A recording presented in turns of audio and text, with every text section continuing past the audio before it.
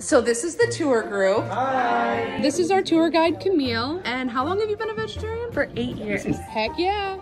We love a vegetarian queen. They gave us all badges so we wouldn't sneak back into the building after the tour. Whoa, airplane art. Look at all these plants. No wonder the air is so nice in here. Probably saves them so much money on heating and cooling too. And all this natural lighting must save them loads of dough on their electric bill. Oh my god, this art installation promoting recycling. I love it. Can you show me the crank? Oh,